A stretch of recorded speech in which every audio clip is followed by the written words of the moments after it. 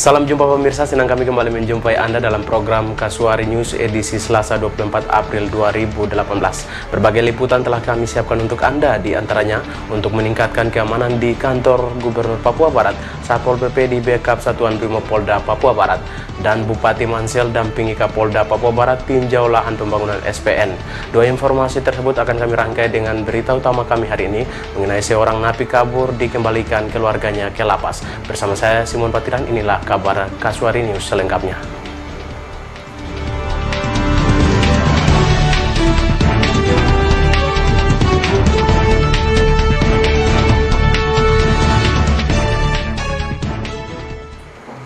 Pemirsa seorang narapidana berinisial BM yang kabur dari lapas kelas 2B Manokwari pada Minggu 22 April akhirnya diserahkan kembali oleh pihak keluarganya ke lapas.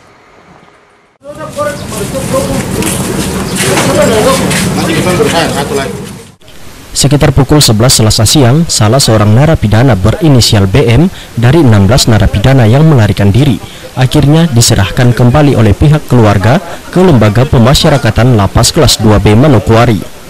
Nampak puluhan keluarga yang dikawal dua anggota kepolisian mengantar BM ke lapas.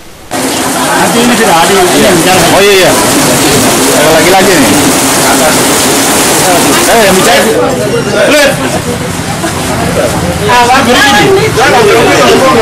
Mewakili keluarga BM, Max Rumbebiak mengaku dirinya berinisiatif membantu petugas dalam pengejaran para napi yang kabur dengan menyerahkan BM yang diketahui masih memiliki hubungan keluarga dengannya. Alasan dirinya menyerahkan BM kembali ke lapas yakni untuk menjaga keselamatan dan keamanan bagi yang bersangkutan. Max juga menyampaikan permohonan maaf atas kesalahan yang telah terjadi, sehingga pihak lapas dan warga binaan lainnya diharapkan dapat menerima BM selayaknya BM semasa masih berada di tahanan, yakni tidak dengan kekerasan atas perbuatannya baru-baru ini.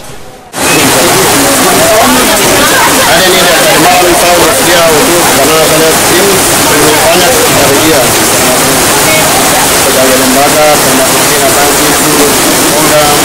Jadi saya juga karena begitu kenal banyak dengan tim Polda. Terus kenal juga dengan Kalapas, sama minta dulu. Waktu dari Kalapas dan dari malam untuk memberikan anak ini. Jangan sampai dapat pukul. Kami punya sudah bersoal.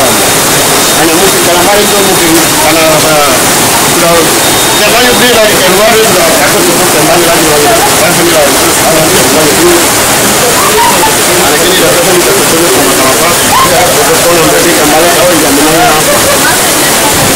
jangan sampai di sini ada yang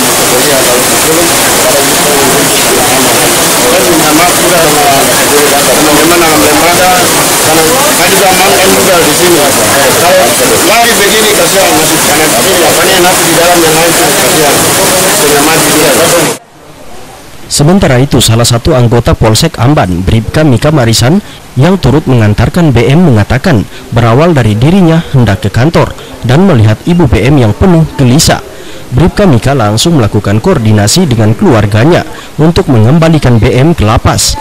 Menurutnya, hal yang dilakukannya semata-mata untuk menjalankan tugas sebagai abdi negara di wilayah Sanggeng. Eh, saya juga kepada seluruh alih karena saya mau pergi kerja, saya mau naik tugas di Amban, saya lewat depan rumah, terus saya lihat tapi dia punya mama dengan keluarga sih terus tegang. Saya tanya kenapa, memang kan udah tahu masalah, saya kenapa bilang aparat datang tuh dari terakhir. Nah, saya juga kan tidak mungkin melihat saja karena saya juga gabung di situ, makanya saya sampaikan sama adik mama, adik mama bahwa eh, jangan panik dengan masalah ini. Semua orang itu punya masalah, tetap akan berakhir. Tidak ada masalah itu yang abadi, tetap akan berakhir. Jadi saya arahkan mama, kalau dia ada, tidak usah apa hari sama yang siapa atau aparat ini atau aparat ini, tetapi saya minta supaya kita semua sama-sama antar ke eh, apa ke lapas supaya lapas juga tahu bahwa keluarga mengerti baik. Saya dengan Pak, eh, Pak Marisa dengan Pak Richard Nitope kita koordinasi dengan keluarga baik dan keluarga terima itu.